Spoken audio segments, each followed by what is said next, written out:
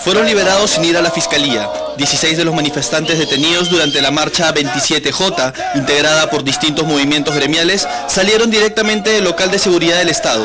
Según ellos, hubo excesos al momento de la detención.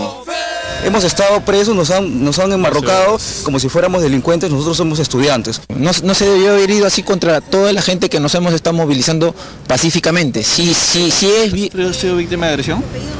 En, en el momento de mi detención sí, aquí no. Informaron que tras la detención de 17 personas llegaron tres más por la misma causa.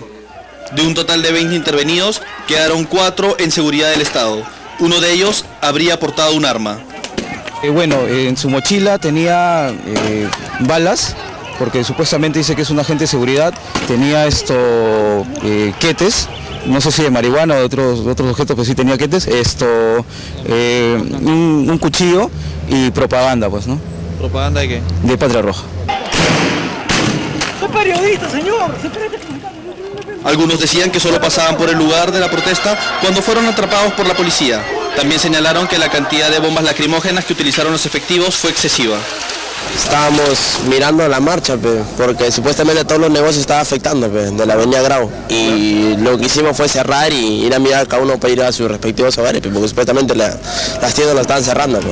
¿Usted no estaba en la marcha? No, yo no estaba en la marcha.